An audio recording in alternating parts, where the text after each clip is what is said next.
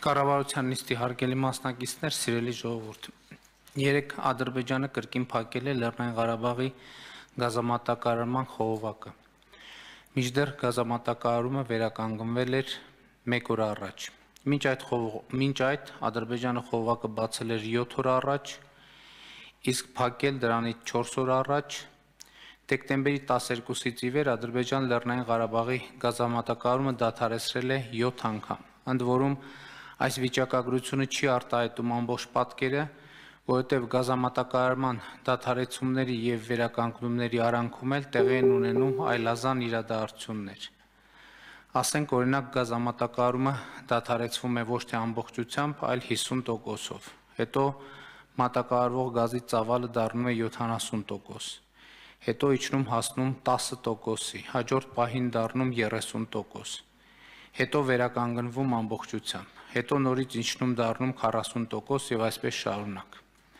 Նման վայրիվերումները երբեմն օրվա մեջ կարող են տեղի ունենալ մի քանի անգամ կամ մի քանի օրը մեկ։ Ընդ որում սա արդեն ոչ թե ճակերտավոր բնապահպաններն են, այլ պետականորեն իրականացվող գործողություն, որովհետև եթե ճակերտավոր բնապահպանները Լաչինի միջանցքում ներկա են եւ տեսանելի, գազախողովակում նրանք չեն նկատվել։ 2022 թվականի դեկտեմբերի 12-ից ի վեր Ադրբեջանը Լեռնային Ղարաբաղին գազ մատակարարող խողովակի հետ կատարել է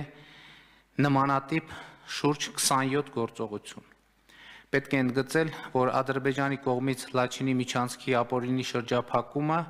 որը ճակերտավոր բնապահպանական քողարկում ունի, Լեռնային Ղարաբաղում հանգեցրել է իրական բնապահպանական խնդիրների, որովհետև ինչպես տեղյակ եք, Ադրբեջանը արգելափակել է նաև Լեռնային Ղարաբաղի էլեկտրական հոսանքի մատակարարումը։ Ու քանի որ էլեկտրական էներգիա արտադրելու տեղական հզորությունները բավարար չեն, Լեռնային Ղարաբաղի իշխանությունները ստիպված են էլեկտրական հոսանքի հովհարային անջատումներ իրականացնել օրական 6, 8, 10 ժամ կախված եղանակից։ Այս պայմաններում Լեռնային Ղարաբաղի մեր հայրենակիցները ստիպված են իրենց տները տաքացնելու համար փայտանյութ օգտագործել, որը իր հերթին բերում է անտառային հատումների, ինչը բնապահպանական լուրջ աղետի վերածվելու պոտենցիալ ունի, մանավանդ եթե հաշվի առնենք, որ Լեռնային Ղարաբաղում ջուն է տեղացել եւ գիշերը օդի ջերմաստիճանը նվազում է միջև 5 աստիճան 0-ից ցածր։ Սրանով ըստ այդմ ներողություն եւս մեկ անգամ հոդս է ցնդում Ադրբեջանի իբր բնապահպանական նպատակադրումները, որովհետև Ադրբեջանի կողմից Լաչինի միջանցքի ապօրինի շրջափակումը, որը սկսել է 60 օր առաջ,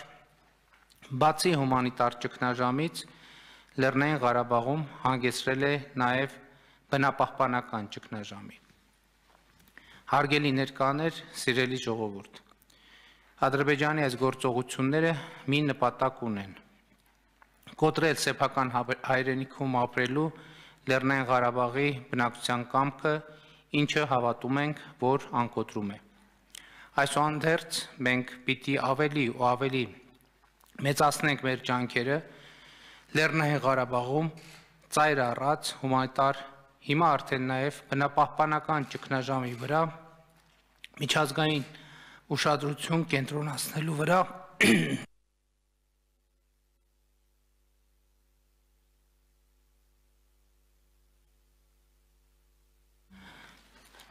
ներողություն եմ խնդրում որը Ադրբեջանի ագրեսիվ եսադրիչ գործողությունների արդյունք է Միևնույն ժամանակ ուզում եմ շնորհակալություն հայտնել այն միջազգային կազմակերպություններին եւ երկրներին,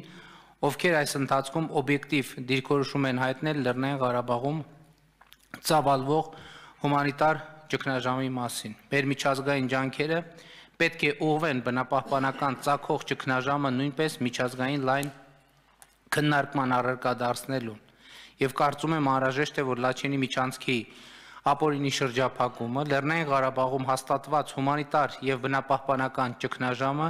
ավելի ինստիտուցիոնալ միջազգային քննարկման առարկա դառնան, որովհետև միայն միջազգային հանրության չնվազող ակտիվությունն է Ադրբեջանի ագրեսիվությունը եւ սադրիչ գործելակերպը